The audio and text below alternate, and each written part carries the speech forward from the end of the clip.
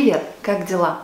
Сегодня хочу рассказать о таком значимом для Лондона событии, как э, Великий Лондонский пожар.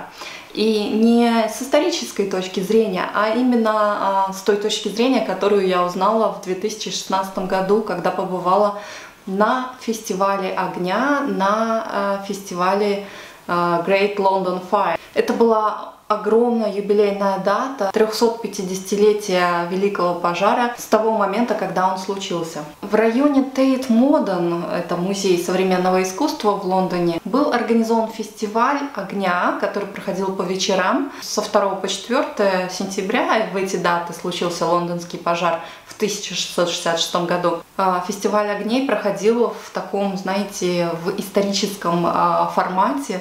Люди в костюмах 17 века ходили там, а, развлекали людей. И очень много такого живого огня было выставлено в саду. То есть это был сад огня назывался, bonfire э, гадом. Какие-то крутящиеся конструкции, огонь в каких-то горшках, все это светилось, сверкало, э, пламя вздымалось вверх, какие-то, знаете, даже невозможно описать, что это были за конструкции, но вся суть вот этого вот фестиваля э, как-то уносила тебя в прошлые века, вот как раз в то столетие, когда свершился этот великий лондонский пожар. Как это выглядело, пожалуйста, смотрите.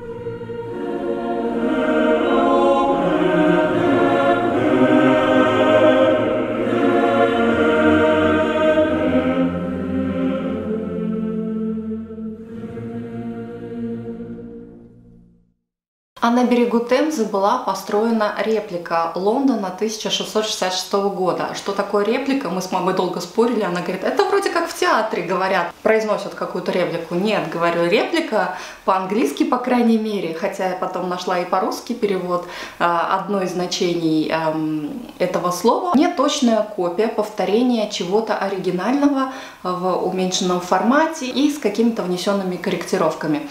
Так вот, э, реплика всего Лондона была выстроена, ну, не знаю, метров, наверное, на 50 точно, в акватории реки Темзы, напротив выставочного центра Оксу, если вы знаете, то есть э, практически рядом со станцией Embankment. И она, конечно, выглядела очень красиво, все это было из дерева, ну, в те года дома в Лондоне строились из дерева, поэтому так э, быстро и внезапно распространился пожар, который начался в лондонском Сити, в пекарне Томаса Фаринера. А, это примерно там, где сейчас стоит памятник-монумент, который поставили вот э, как раз-таки после пожара в память о таком значимом событии э, в Лондоне. Его высота составляет 61 метр 57 сантиметров. Именно вот на этом расстоянии от места, где сейчас стоит монумент, стояла та самая пекарня, в которой в После полуночи что-то загорелось и пламя остановить не смогли. По тем временам мэр Лондона должен был отдать распоряжение, а, чтобы все дома вокруг э, места а, локации пожара были снесены. Такая система пожарной безопасности и тушения пожаров была в те времена в Лондоне. Но он э, что-то медлил и ну, боялся, что сделает неправильное решение. И в итоге, когда уже он принял решение снести эти дома, К сожалению, э, пламя уже настолько распространилось э, дальше всех этих домов, что остановить его уже не смогли. В огне неизвестно, сколько погибло э, человек. Переписи населения по тем временам не было, и кто сгорел в этом пожаре, так и неизвестно, потому что пожар был такой степени величины, что после пожара практически ничего из останков людей не осталось. Это практически была полная кремация жителей Лондона. На тот момент без жилья в Лондоне осталось осталось 70 тысяч э, человек. Это 90% всего населения Лондона, потому что в Лондоне в 1666 году жило примерно 80 тысяч человек. И э, Карл II, который правил тогда, дал распоряжение, чтобы все эти люди, погорельцы, выехали за Лондон, иначе он боялся, что начнется какая-то смута. Но, кстати, нет худа без добра. Именно в 1665 году Лондон накрыла чума, и вот этот пожар полностью избавил Лондон от э, чумы. К сожалению, 13 500 домов и 87 приходских церквей сгорело, в том числе и собор Святого Павла. И город пришлось очень долго восстанавливать, и уже тогда э, строили прямые улицы и дома из кирпича на определенном расстоянии. Обо всем этом, как, как восстанавливался Лондон, и о памятнике-монументе. Это самая высокая колонна в мире, которая стоит без поддержки, и на верхушку которой можно забраться, там полохи огня э, изображены. О том, что можно увидеть на верхушке, и как э, она, эта колонна выглядит изнутри, я вам тоже расскажу расскажу и покажу, э, как туда попасть. Я однажды попала туда бесплатно. Сколько стоят билеты и как туда попасть бесплатно, тоже расскажу. Впереди еще очень много интересных событий, фактов, мероприятий и бесплатных фишек, которые я стараюсь давать людям, потому что мой канал, в принципе, это канал о Лондоне и о том, что происходит в Лондоне, по большей части о мероприятиях, которые проходят бесплатно или очень дешево. Ну и вообще не только о мероприятиях, а о том, как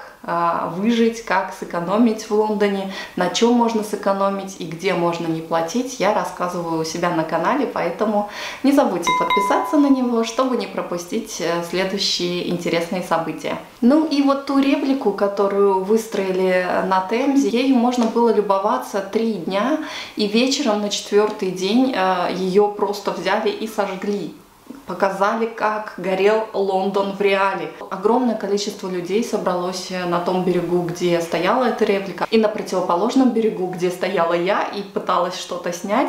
А, ничего не было видно, там буквально человек 20 Э, в ширину стояла передо мной, поэтому я не смогла пробраться в первые ряды, чтобы посмотреть и что-то снять, поэтому мне пришлось залезть на колонну, постамент, который буквально был вот такой ширины, я буквально висела на этой колонне, там, где Окс-центр, э, там такой створчатый коридор есть, и вот в этом коридоре на каком-то из постаментов я стояла, делила э, этот постамент э, с девушкой из Китая, мы там уже с ней разговорились, она тоже приехала учить английский язык в Лондон, ну и мы с ней как бы периодически менялись, то я сниму, то она снимет, она там фотографировала на телефон, конечно, но что-то пыталась. А у меня реально получилось, хоть и на весу, хоть одной ногой я стояла, одной рукой держалась за столб, другой просто просто э, держала камеру и пыталась что-то там еще как-то приблизить.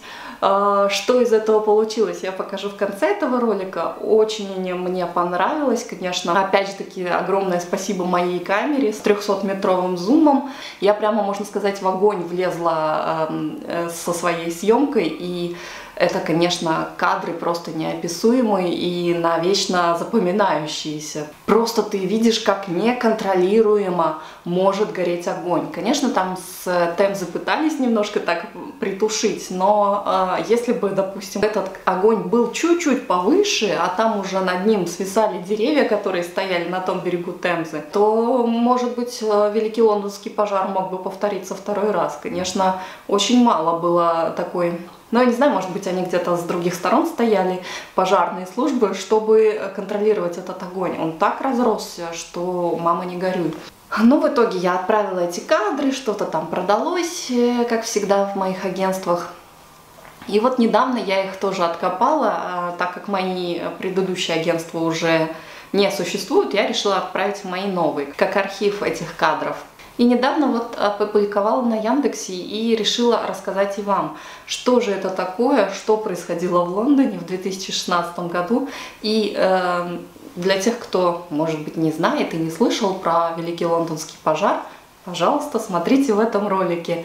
Примерная копия того, что было в 1666 году, повторилась в 2016 году на 350-летний юбилей Великого Лондонского пожара. Ну а сейчас те самые кадры, тот самый видеоролик, который мне удалось снять, я показываю вам. Пока на этом все, не прощаюсь с вами, до новых встреч!